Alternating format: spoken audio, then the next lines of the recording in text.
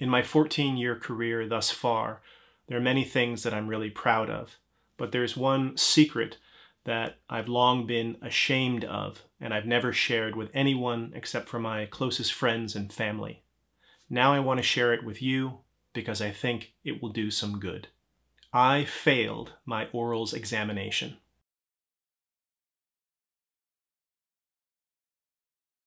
Why, after all these years, do I feel like it's time to share this information with those of you who are in graduate school and those of you who are advising graduate students? After all of these years of holding this secret inside, I realized that it would probably do more good to just put it out in the light of day, to ask myself, why is it I failed on my first attempt at the milestone experience of the orals exam, and what advice I have to give to students who are preparing for the exam and for their advisors. So let's jump into this somewhat embarrassing but important discussion. So why did I fail orals on my first try? Well, first of all, it wasn't because I didn't read. Like so many of you who are preparing for orals right now, I was reading five, six, seven books a week from morning to night. There was one time I was working in the Hungarian pastry shop cafe, my cafe of choice up by Columbia. I had drank so much coffee that my heart was racing and I was actually starting to get worried. I decided to close the books for that night, but before I left, I texted a friend of mine and said, I'm not feeling so well. I'm going to walk home and I'll text you when I get there. If you don't hear from me between now and then, please come looking for me somewhere on Amsterdam Avenue between the cafe and my apartment on 120th. So after all of that reading, all of that preparation, why did things go badly? The reason is I didn't understand what the orals examination was actually examining.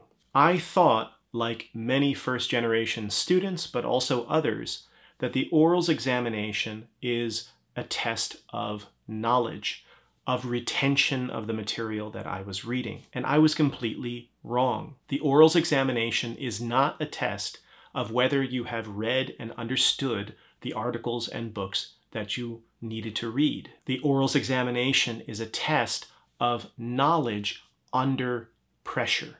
It is a performance. And the only way to truly prepare for it is to understand this performative quality and actually to practice with that in mind. What is this performance? What am I talking about? What is orals really for? Well, some people who are far more cynical than me would describe it as a kind of hazing ritual, a kind of pointless gauntlet that we make students run through as part of this ritual. This isn't true. Now that I have the benefit of hindsight over my own career, I realize that there is a specific event, a major event in our careers that the orals examination is almost a carbon copy of and this is the Q&A period during your job talk. And of course, there are many other benefits to the orals exam. You develop a command of different literatures that will constantly serve you in your teaching, in your writing, in your research. But what I'm talking about specifically is not the reading and note-taking process, but what happens inside the examination room during that two-hour exam. Because remember, when you teach or when you write a book, there is never a moment in which someone looks at you and asks you a question and says, answer this in six minutes or you're fired. That doesn't happen. In research and writing, you have time to go over your notes, to check all of your facts, to study the literature. In teaching, you have months to prepare syllabi and lectures. But in the orals exam, there is this weird stress uh, and time consideration that is not really a factor in teaching or research. So the Q&A period of your job talk, goes without saying, is the period that follows the scripted portion of your presentation to the department or the program where you're trying to get a job. The idea is there is a room full of faculty and postdoc and graduate students and others coming from a variety of fields and they can ask you any question they damn please. You won't know what the question is, you won't know where it's coming from, and yet getting that job depends on how well you answer this sequence of questions. Sound familiar? And what's more is that you have to answer this barrage of questions in a highly structured and ideally short period of time. During a Q&A for a job talk, you do not want to be giving 10-minute answers because you're going to run out of time and you're going to really frustrate and piss off all of the people who are waiting in the queue to hear you think and hear you respond to their questions. So this is the performance I'm talking about. Because in a Job Talk Q&A, there's no doubt that you know your research. There's no doubt that you have actually thought a great deal about it. And so in theory, the Q&A should be really simple. And yet it's not. Now I love Q&As. They're my favorite part of every talk that I give. But Q&As are really stressful. You can get major abstract questions and you are in the hot seat in a condition of stress and so much is riding on what you say. Well, this is exactly what orals is like, at least in my experience. You're not in a room with 50 people, you're in a room with maybe four or five typically. And of course, you're not calling on people. Each examiner has a specific period of time that they get to ask you questions in. But just like a job talk Q&A, the questions can be of any magnitude, of any scale, and so much is riding on your ability to answer them substantively, but also briefly. So learn from my mistake. The orals examination is not a sadistic ritual, but neither is it a test of just your general comprehension of hundreds and hundreds of books and articles. It is a particular kind of performance in which you are being tested for your ability to summon material, organize it, deliver it in a highly condensed period of time while under stress. And there is a part of our career that is a direct copy of that experience, and this is the Job Talk Q&A. The second reason I think I failed in my first attempt at the orals exam was because of a kind of cognitive dissonance that was being generated um, on the one hand by this sense of anxiety in myself and this this you know, knowledge that, wow, this is a really important exam, so much is riding on it. But then on the other hand, this persistent chorus of people, fellow graduate students who are more senior than me, but also my own professors, telling me not to worry, you'll pass. This really confused me. If this thing is so stressful, and if it's an exam that it requires one full year of an ungodly amount of work to pass, how in the world is everyone telling me that don't worry, you'll pass? Some people go so far as to say it's just a conversation. Bullshit. The orals examination is not a conversation and you can fail.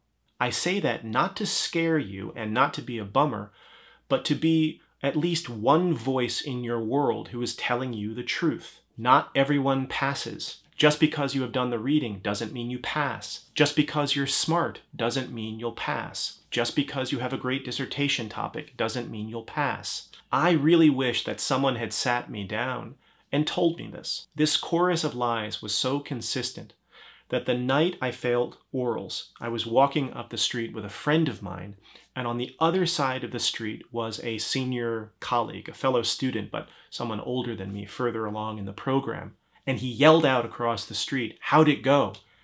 I was totally broken and despondent at that point, but I decided to answer him with full volume. I failed. He laughed. yeah, right, and then kept walking down the street in the opposite direction. If my heart had already sunk through the floor, it was now somewhere in the lower recesses of hell. It's like, oh my God, I failed the unfailable exam it's all over. Right after the exam ended and right after I got the news, I walked home like a zombie. I was all dressed up nice. I had dress shoes on. I unlocked the door to my apartment. I just trudged into my bedroom and then just fell flat on my bed and I didn't move until the sun set. I was so confident, even though I was confused, that I would pass, that prior to the exam, I invited all of my friends to have a beer with me that night to celebrate. Well, after I failed, I had to write back to all of them to tell them not to come. I didn't mention why, I just said, don't come. One friend reached out and I think suspected that there was something up. Was everything okay? And I said, no, it's not okay. Now, I don't want to shirk responsibility. I don't want to pretend like I'm not the sort of master of my own fate in this. I'm the one who failed the exam. It wasn't my advisors who failed it for me. It wasn't my senior colleagues and fellow students. I'm the one who failed. But at the same time, I would be lying if I just took that responsibility 100% on my shoulders and just continued to beat myself over the head. The point here is is that as students, so many of us prepare incorrectly for the exam because we really don't know what the exam is about. So if I have to be that person in your life, I'm okay with it. Let me be the first to tell you that the orals examination is not a conversation. It is not something that everybody passes. People even added all of these layers to the story. They would say, oh, when you leave the examination, you're going to think you failed, but you passed. So when I actually left the exam thinking to myself, I think I failed, then I remembered all of this nonsense advice that I got, and I thought, well, I feel like I failed, so I guess I passed? This brings us to the third reason that I failed my first attempt at orals, and some advice that I have for any students out there and anyone advising students. Because of this unending barrage of statements about how orals is a conversation, everybody passes, don't worry about it, I never actually practiced the exam the way that the exam was going to happen. It's like I was a swimmer preparing for the Olympics, practicing in a kiddie pool. The point here is, like every other profession and field of arts understands, you need to practice at least a few times in precisely the way that the main event is going to happen when it comes. And this takes a few different shapes. For one thing, when you are meeting with faculty members who are going to serve as your examiners, try your best to get them to offer you mock exams. If they sit back in their chair and if they're sipping coffee and if they're the ones talking about how don't worry, this is an informal conversation, you need to figure out strategies to get them out of that habit and to actually show you what it's going to be like. I'll say it right here. I think it is completely irresponsible for advisors to describe the orals examination as a conversation. It isn't. It's a highly stressful, high stakes, power asymmetric event that requires serious preparation. And so examiners don't do this out of malice. They're trying to do something nice for you. They're trying to make you not worry, not stress out. But in the long run, it doesn't actually help you when you believe them. Because then the day actually arrives and you walk into the room and you suddenly realize in that moment, oh shit, this is not a conversation. This is not an informal chat. What is this? I don't know. So in order to practice the exam the way the exam will really be, you need a partner in your mentors, in your examiners. Just explain to them, I'm really nervous about this. I would really like to practice the way the exam will really be. So if the exam is 20 minutes long, can we please set a timer? If I'm allowed to have pen and paper, I'd like to use pen and paper. I'd like to stay in character as much of the time as possible. And then, of course, step out of character so that I can understand what I did well and what I need to improve. Now, if all of this in character, out of character stuff sounds strange to you, I'm just going to say it again. The orals exam is a performance. It is not a test of knowledge or intelligence. It is the test of a particular performance of knowledge under unique conditions of stress.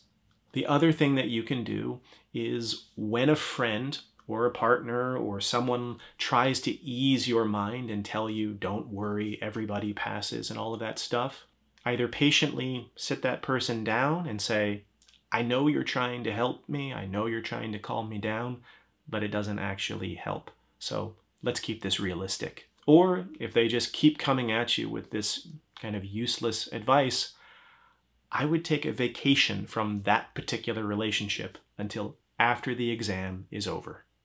And for your part, you want to make sure that you use every opportunity not only to read and take notes on the items on your list, that's essential, that's foundational, but to also delegate time in your schedule to drilling and practicing the way that the exam will actually be. I've gone ahead and I've made a number of videos all about the orals exam process. I'll be linking them in the description below and you're going to see them in the cards. So be sure to watch those videos as soon as you can. I go over what the very first words out of your mouth should be for every answer you give. I walk through the four archetypal questions that show up over and over and over again in every examination, regardless of the field you're in. And I walk you through a kind of training regimen so that you can more efficiently and effectively prepare for the big day. So all of these videos are in the description below and I seriously encourage you to watch them all start to finish. Now the story has a happy ending. After that awful day, that seriously, to this day when I think about I feel a kind of ache, a kind of shame, I retook the exam, or the specific portion of the exam that I needed to do, and I smoked it. I had all of the literature at my command. I had condensed them into these substantive six-minute answers. I was thinking on the fly. I was doing the performance. I remember my examiners being like, oh, wow, you know, why didn't you do this before?